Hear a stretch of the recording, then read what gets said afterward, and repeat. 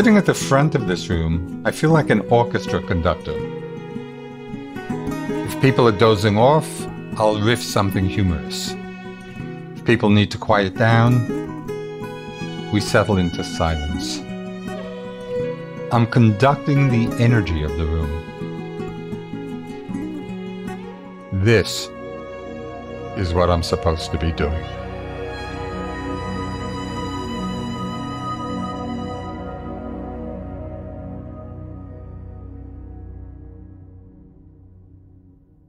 By the time he was 30, Joseph Goldstein felt confident that his mindfulness practice would be critically important to the rest of his life. But when he left India in 1974 and returned full time to the US, he had no idea what the rest of that life would look like. This week, Joseph tells us how he endeavored to keep himself open to all possibilities while learning to be okay with that uncomfortable feeling of not knowing. In this series, we combine immersive first person stories, breathtaking music, and mindfulness prompts so that we may see our lives reflected back to us in other people's stories. And that can lead to improvements in our own inner lives. From WaitWhat this is Meditative Story. I'm Rohan, and I'll be your guide.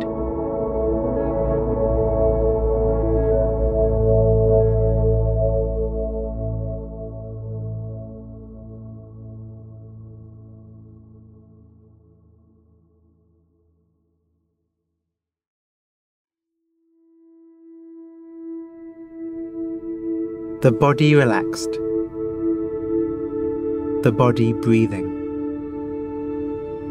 Your senses open, your mind open, meeting the world.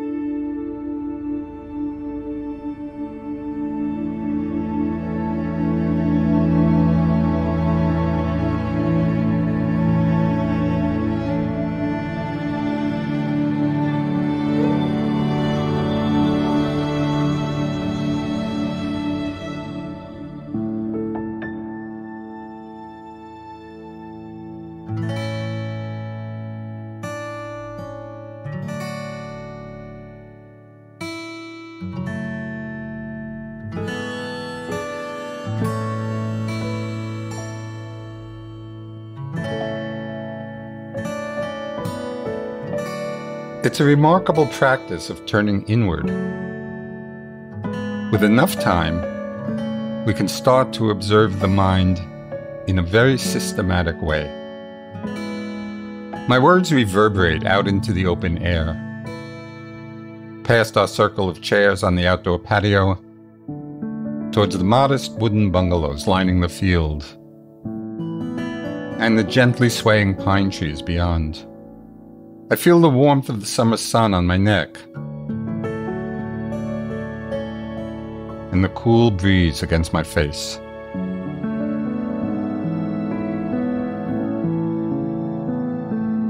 It's 1967. I'm 23 years old and I'm at the resort my family owns in the Catskill Mountains. Seated around me on the patio are about a dozen women looking at me with wondering faces. They're all about my mother's age, dressed in comfortable sundresses. Their big hairdos are held in place with plenty of hairspray. I'm dressed in chinos and a polo shirt. I guess you could say this is my first Dharma talk for a Western audience. And it is a very Western audience. My family's resort is in the Borscht Belt, where Jewish families come in vacation. The women spend most of their days playing mahjong and taking care of their children. When they heard the owner's son wanted to give a little presentation, they were nice enough to humor me. They're not throwing tomatoes or anything. They're being very polite. I can just tell there's minimal interest They've come more out of curiosity than a desire to pursue Buddhist teachings. But those are the things I'm interested in. I've recently returned from my first trip to India where I was deeply immersed in meditative practice. Buddhism is a relatively new passion of mine, and it feels like the answer to so many of my questions. As a young man, I'm very inquisitive about the world around me. When I'm 12 years old, my father dies unexpectedly. And the stark fact of death, the power of the idea that someone who is an integral part of your life is there and then they're not there. It consumes me. In my late teens, I become obsessed with the question Does God exist? And over the following years, my angst becomes existential. I distinctly remember standing in front of a mirror, looking into my own eyes and asking, Who am I? Who's behind all these emotions and insecurities and uncertainties? When I'm exposed to meditation and mindfulness, it feels like a revelation. It opens me up to a new world where I can observe my suffering instead of drowning in it and my instinct is to share this with everybody. But this first attempt isn't working. After half an hour, I bring the talk to a close. There's a smattering of awkward applause. I smile. A couple women have clarifying questions, but then they leave. I decide to take a walk on my own out onto the grounds of the resort. The smell of freshly cut grass fills the air, and I stroll through a spacious field. Soon, a large building in the resort comes into view. We call it the casino, but it's really not much more than a social hall. It's where bad comedians and musical acts come to perform. Right now, it's empty. It's peaceful here, quiet serene, and I'm surprised how uncertain I feel around it all. Reintegrating to normal life after India has been difficult. The energy here is so different. I'm so different. I'm trying to figure out how to fit back in. Initially, I tried substitute teaching at the local high school in my hometown. But one day, the kids ask me what I think about smoking pot. And naively, I'm honest with them. Within minutes, the story spreads to the faculty room, and let's just say that's the last time I'm invited back to teach. Then I seek guidance from someone I've become friendly with on my trips to India, an American his name is Ram Dass. He taught at Harvard at one point, so I write to him asking if I should teach at a college somewhere. His letter back is polite, but straight to the point. I don't think that's a good idea, he writes. The academic world is not where you want to go. So again, I don't know what to do. At this time in the US, there doesn't seem like much for someone like me to do. Mindfulness and meditation are brand new ideas for most people. Teaching seemed like my one real option, but that has gone nowhere. I try to puzzle out a solution to my problem. Anything to not feel this sense of uncertainty, all this not knowing. But try as I might, I can't come up with an answer. In India, I'm part of a small group of Westerners practicing intensive meditation in a village called Bodh Gaya. We sit for seven, eight, sometimes nine hours a day, focusing on our breath, our bodies, our minds. Extended meditation like this can be difficult and uncomfortable, but we support each other through our frustrations and pains. Coming out of that experience back home to upstate New York, it's like I've been scuba diving and rose from the depths too quickly. I'm unsettled and a little depressed. It feels like I'm grieving. I finally found this thing that I'm passionate about and that I think I might be good at. I just can't see what to do with it. There doesn't seem to be a clear path forward here. I return to my room, a small space behind the office with a pull out sofa. I put on a Bob Dylan record and mope. The jangling sounds of Mr. Tambourine Man play from the speakers. I lay down and close my eyes. I just want to get back to India, back to my studies and the certainty of my practice. Laying here in my room, I don't know what to do with myself. And that feeling of not knowing is really unsettling. It's as if my life exists as two separate strands. One is the strand of my practice, which feels clear and stable. The other is the strand of how that practice will manifest, how I can ever hope to apply it to the world. Spiritually, I'm flying high,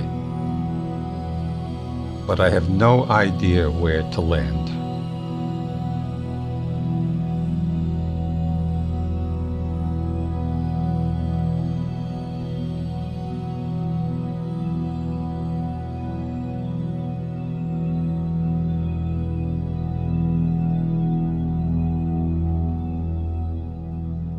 Has there ever been a time when you felt how Joseph is feeling right now? A time when you just didn't know how the different parts of your life were going to work alongside each other. Whatever memory, whatever potential discomfort comes up, let it be here.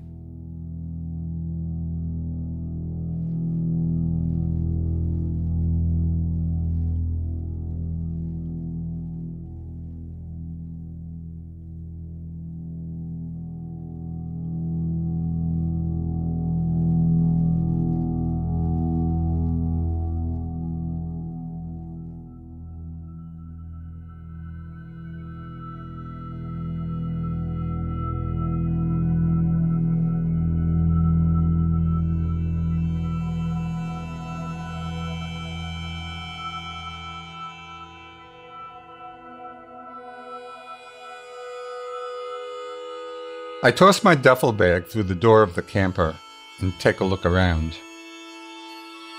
The whole thing fits onto the back of a pickup truck. There's a space to sleep above the cab, a spot to cook. Looking at it all, it conjures up a spirit of vagabondish wandering. It's like something out of a Kerouac novel. The summer of 1974. I'm about to start a long road trip with my friend John Travis. I've met up with him here in Wichita, Kansas, and we're going to make our way to San Francisco. John loads up a box of food. I double check that I've got my sleeping bag and my copy of the Diamond Sutra, the book I carry with me everywhere these days. Finally, we both climb into the cab. I hear the engine sputter to life, feel the rumble under the soles of my feet. I've spent the last seven years traveling back and forth to India, continuing to hone my mindfulness practice. It's been incredibly enriching. But now I'm back in the West, for good this time. I struggle with severe back problems, lots of discomfort. It makes it difficult for me to meditate for long periods of time. I hadn't wanted to leave India, but I need to be here for treatment and for rest. I can't help but think I'm missing out on something important. by not being in an environment where my practice can be nurtured and supported. I feel even more committed to mindfulness than I did seven years ago.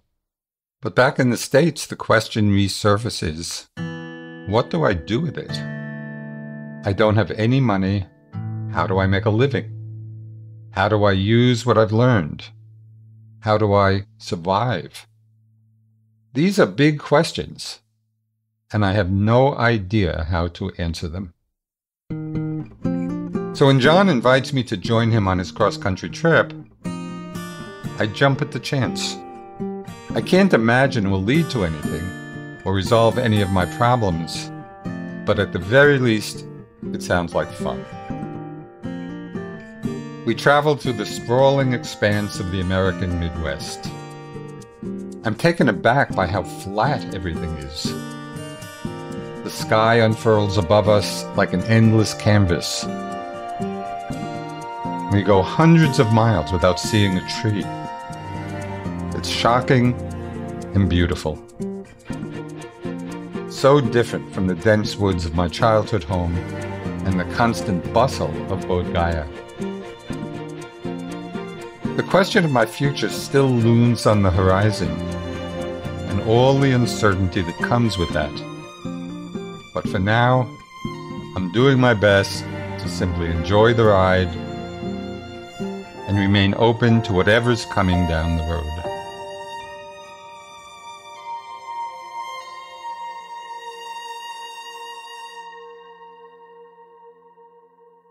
I'm walking up Telegraph to University Avenue in Berkeley, California. The sidewalk is crowded with students. A young woman sits on the ground selling beaded handbags. I'm not paying any of them much attention. I just got into town. I'm at the end of my cross country trip. And I need to find a bathroom. I've already been refused at two different restaurants. The stern looking owners give me one look before waving their hands, saying, Restrooms are for customers only. Well, I smile to myself. This wouldn't happen in India. I'm about ready to give up when I open the door to a third restaurant. It isn't fancy, no tablecloths or anything. A few customers are seated at small tables chatting over their food. I walk in and stop dead in my tracks. Sitting alone at one of these tables is Ram Dass, my friend who answered my letter. His mane of gray white hair blends seamlessly into his big bushy beard, accentuating the shiny top of his bald head. He's wearing a loose fitting white tunic, a long strand of beads draped around his neck. His book, Be Here Now, came out a couple of years ago and sold millions of copies. I imagine he's constantly approached by young students seeking his guidance, and is probably enjoying this quiet day to himself. But when he recognizes me, he smiles, and he waves me over. To many, Ram Dass is a teacher, an icon. But to me, he's just a warm friend, a brother walking the path. We talk for hours. He tells me he's been invited to teach at a new university in Boulder, Colorado. It's different from the world of academia he warned me against. It's a Buddhist oriented college founded by a Tibetan master named Chogyam Trungpa, and it's called Naropa University. Ram Dass is teaching a course on the Hindu scripture, the Bhagavad Gita. They're expecting a big turnout. I tell him it sounds amazing. Ram Dass's face erupts in an open mouthed smile. He runs a hand through his massive beard. How would you like to teach the meditation portion of the class? Immediately, I say yes. Leaving the restaurant with a big smile on my face, I marvel at the pure serendipity of this meeting. What are the odds I'd be kicked out of two restaurants, walk into a third, and land a job with the biggest new thing happening in Buddhism in America. I feel somewhat guided to this moment. All my months of toiling in uncertainty and trying to know before knowing really emerged. It got me nowhere.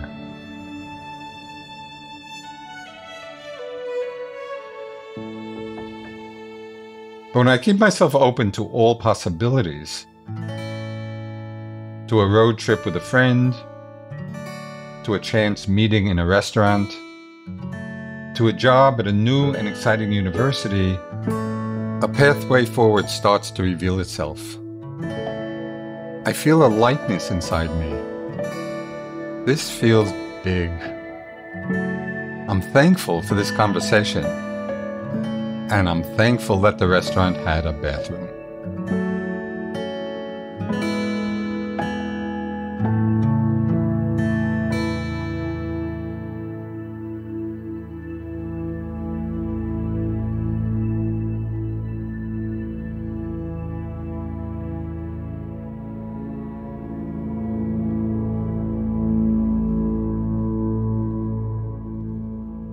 This happens.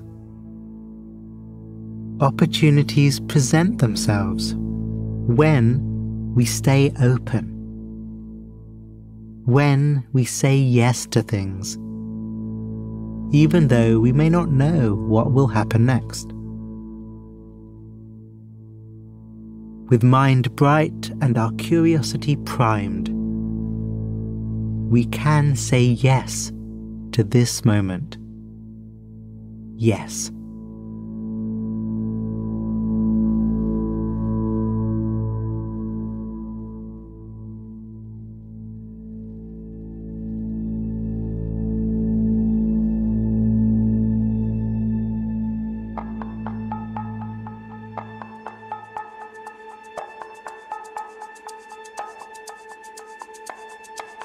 A lone hand raises into the air I see the mala beads dangling from the wrist. In front of me is a sea of eager faces. Most of them are young. A lot are hippies. Long flowing hair, long flowing Indian fabrics. They come from all over South Carolina, Wisconsin, New York. This is a room full of seekers. They're wide eyed with a sense of energetic rebellion and harmony. I sit cross legged on the floor in a soft blue velour shirt. We just finished a discussion on the basic tenets of Buddhism, and I've opened the floor for questions. I call on the young man with his hand raised. If there's no self, who's reborn? he asks. If there's no self, who gets angry? I can't help but smile these questions are very familiar. The idea of selflessness, or non self, is a key element to Buddhist teaching. But it's a hard concept for people to understand. Everybody thinks of themselves as a self, just like I once did, looking into a mirror asking, Who am I? I scan the large warehouse like classroom. It's not like any traditional classroom I've seen. Mats have been laid down to make it a little easier on people's knees. Behind me, beautiful banners with Tibetan motifs hang on the wall. Not that anybody spends much time appreciating them. We spend most of these classes with our eyes closed. I return my gaze to the student and say, Think of the Big Dipper. We're all familiar. It's an obvious constellation, right? Several students nod in agreement. This is the easy part.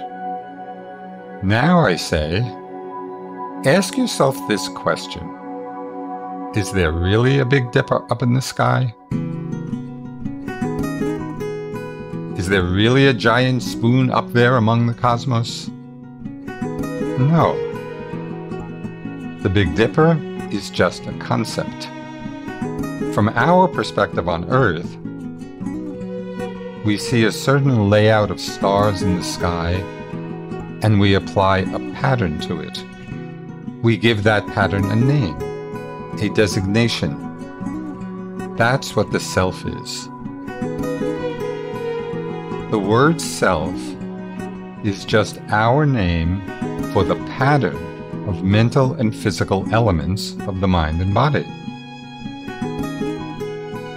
It's no more there than a Big Dipper is up in the sky.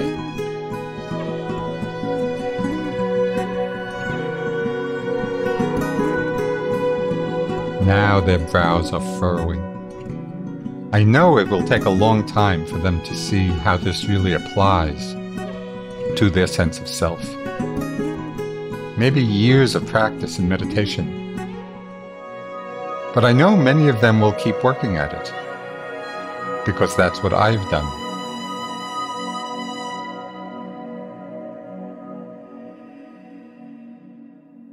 The students here are hungry for and interested in Buddhist teachings, just like I was as a young student in India.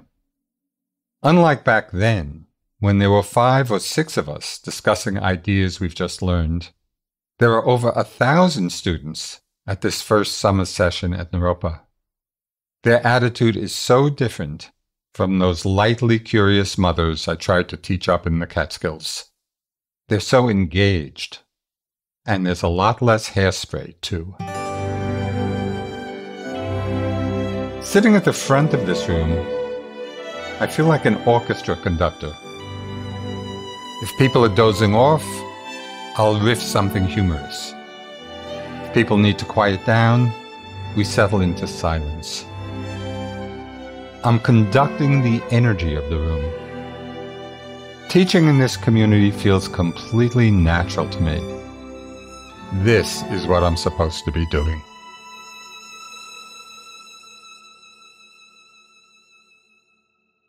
Not all of our time is spent in rigorous study and meditation.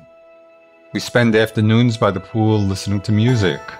We see performances from poets like Allen Ginsberg and musicians like Philip Glass. Naropa is like a Buddhist Woodstock. It's an inflection point in American culture, a big turning point for the country's growing interest in mindfulness that will spread out from here for decades to come. And it's a big turning point for me too. This is where I deepen my bond with fellow teachers Jack Kornfield and Sharon Salzberg.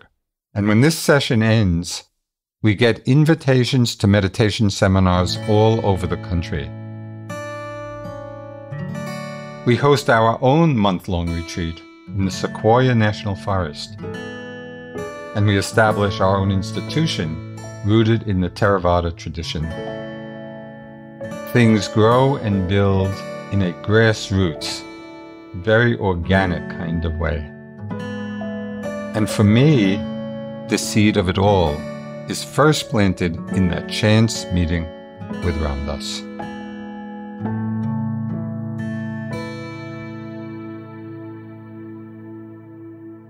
Just a few months before that, I had no idea how my practice would manifest itself how this thing that I'm so passionate about, that is so important to me, would turn into something I could do for the rest of my life.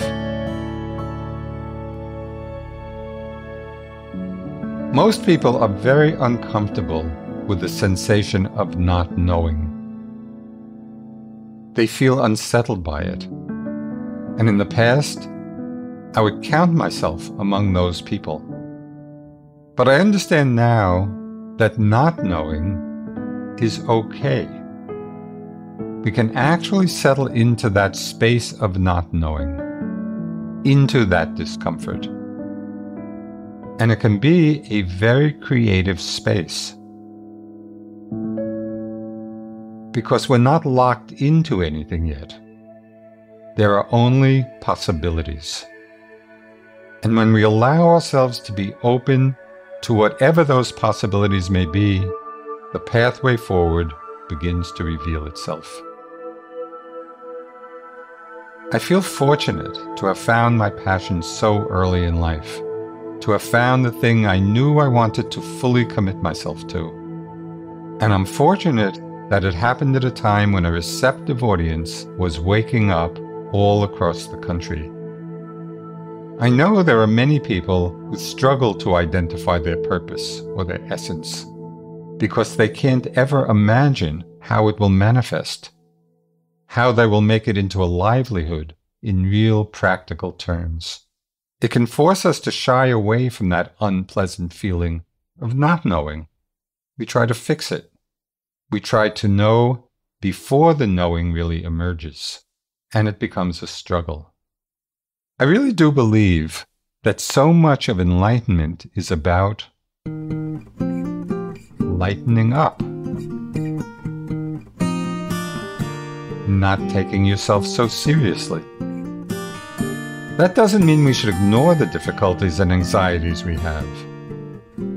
Notice them, inquire about them, but don't flail and drown in them. They are part of your life unfolding. It's okay to not know. Open yourself up to that feeling of not knowing, to the abundance of possibilities that can lead you down your life path.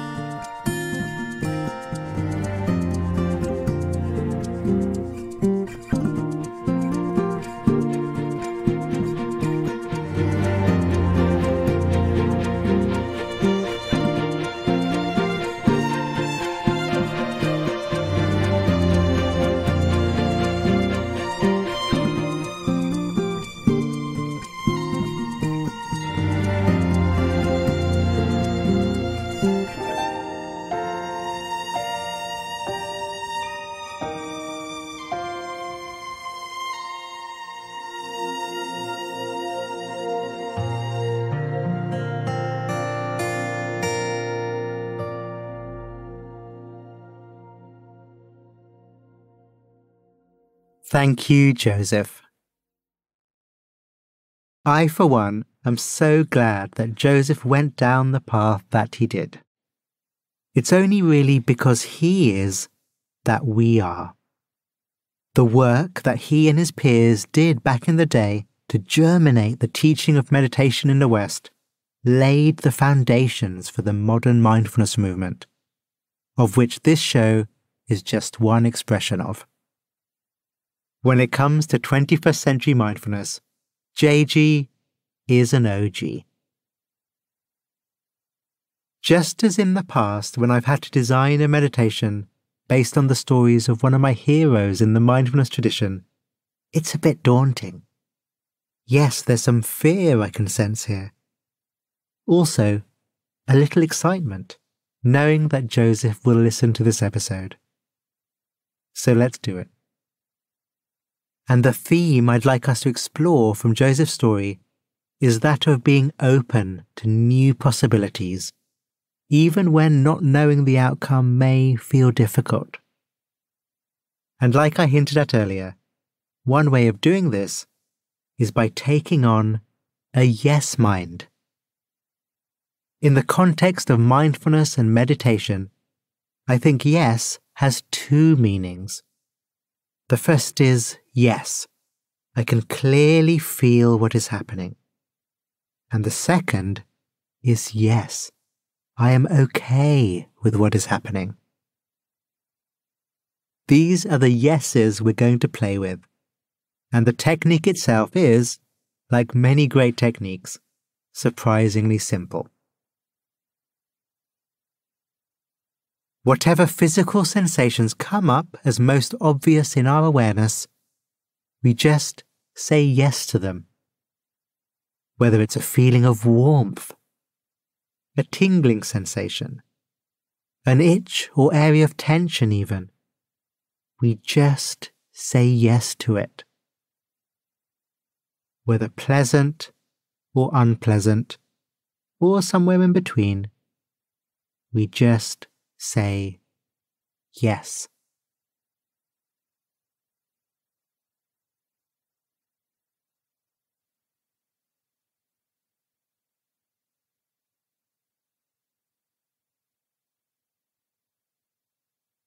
Saying yes to our experience in the body whatever it is, wherever it is.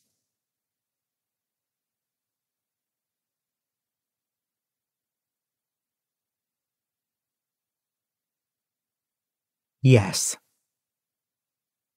Yes. Yes.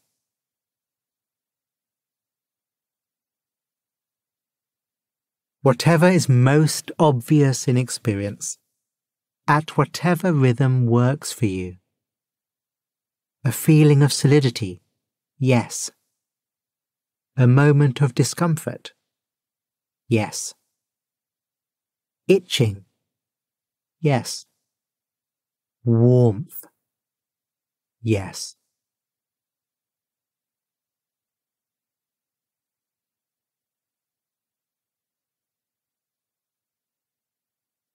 Training ourselves in awareness and acceptance.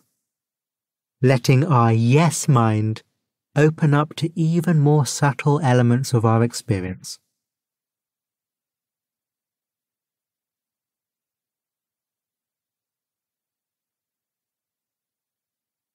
Now that we've got into it, let's remember the second kind of yes.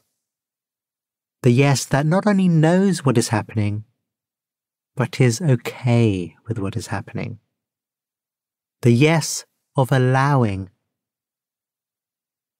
And the best way to bring that into play is to notice if there's any resistance associated with the thing you're saying yes to. Are any of your yeses a yes, but?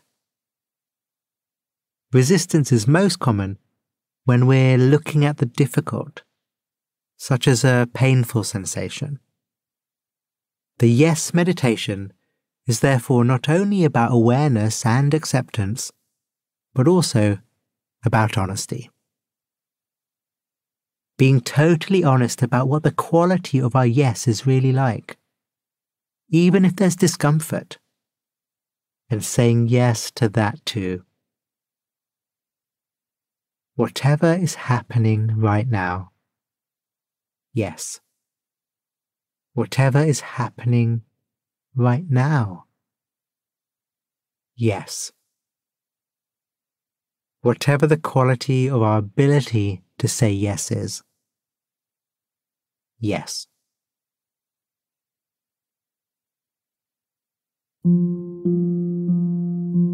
Thank you, Joseph, for your story and for everything and thank you. Go well. We'd love to hear your personal reflections from Joseph's episode.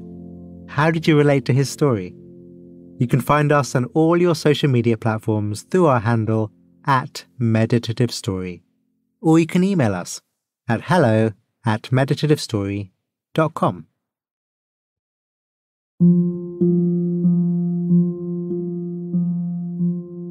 Meditative Story is a WaitWhat original. Our executive producers are Deron Triff, June Cohen, and Jay Punjabi. The series is produced by Dorothy Abrams. Original music and sound design by Ryan Holladay. Our scriptwriters are Marie Kilaru, Dan Nealon, and Florence Williams. Mixing and mastering by Brian Pugh.